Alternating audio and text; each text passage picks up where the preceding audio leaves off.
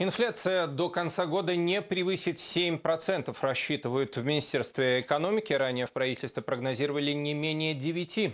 За пять месяцев этот показатель сформировался на уровне 2,7%, и это исторический минимум за подобный период.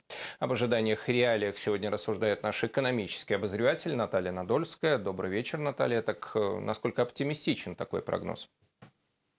Игорь, добрый вечер. Запланированный рост цен за этот год меньше, чем на 7%, вполне реальная перспектива. В последние месяцы индекс потребительских цен наименьший за много лет. В целом, в стране сохраняется тенденция замедления инфляции более значительными темпами, чем ожидалось. В апреле прирост потребительских цен составил 6,3%, в мае 6,1% в годовом выражении.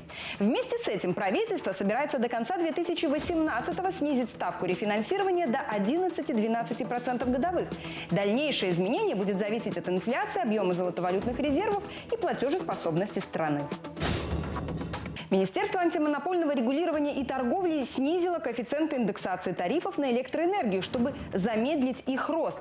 Нововведение начнет действовать с 1 июля. Расти медленнее тарифы будут для потребителей реального сектора экономики. Коэффициенты по природному газу и тепловой энергии остаются прежними. Улететь из Минска в Краснодар за 38 евро, а в Тель-Авив за 45. Национальная авиакомпания «Белавия» расширила перечень направлений акций «Налетай». В рамках совместного с коммерческим банком проекта участники акции могут оформить авиабилеты за несколько дней до вылета по секретному тарифу.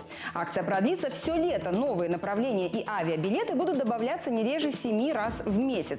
Напомню, национальный авиаперевозчик заказал у бразильского производителя самолетов Embraer еще два новых лайнера. Цена сделки сделки почти 100 миллионов долларов. По случаю празднования Дня независимости Белорусская железная дорога назначила 20 дополнительных поездов в межрегиональном сообщении. 30 июня, 1, 3 и 4 июля дополнительные составы, а также прицепные вагоны в составах регулярных поездов будут курсировать по наиболее востребованным направлениям – Брест, Витебск, Гомель. У желающих приобрести билеты через интернет сегодня ночью могут возникнуть сложности. С 23 до 7 часов система продажи проездных документов онлайн будет недоступна в связи с проведением плановых технических работ. И о курсах валют. Российский рубль вернулся к росту после падения на прошлой неделе. По результатам торгов на белорусской валютно-фондовой бирже он подорожал на 2,5 копейки в сравнении с пятницей. Российская валюта выросла до 3 рублей 25 копеек за сотню российских. Евро подешевел до 2 рублей 15 копеек, доллар потерял 33% и теперь оценивается в рубль 92 копейки. Таковы основные деловые новости понедельника. Мы держим руку на пульсе экономики. Игорь.